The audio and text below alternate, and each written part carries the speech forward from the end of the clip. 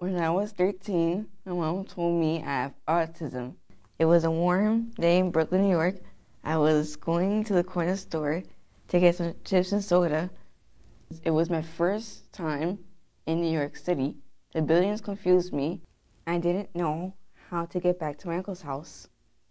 I wandered around trying to find his house.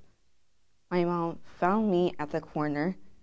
We walked back to my uncle's house. We were in the living room when she told me. My mom told me I have autism, and I was very confused. I didn't know what having autism meant. I was silent. That same day before we left to my uncle's house, I asked my mom when Autism Awareness Day was. She told me the same day it was on April 2nd, since the day April 2nd, Autism Awareness Day. Since that day, Autism Awareness Day, it has been important to me. I know for others it may not be.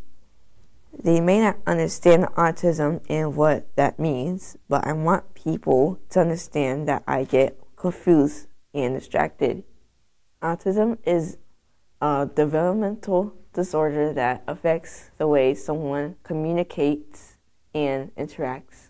I want people to care about what I'm going through. Others might not know I have an emotional issue. Be kind and don't make jokes about people with autism.